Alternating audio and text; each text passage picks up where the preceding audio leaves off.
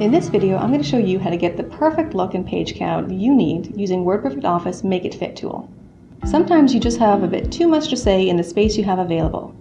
That's where the WordPerfect Office Make It Fit tool comes in handy, letting you instantly reformat a document to fit within a specific number of pages.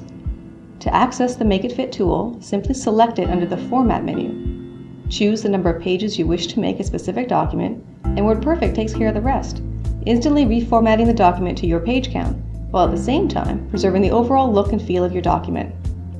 Get the page count you want when you want it with WordPerfect Office Make It Fit tool.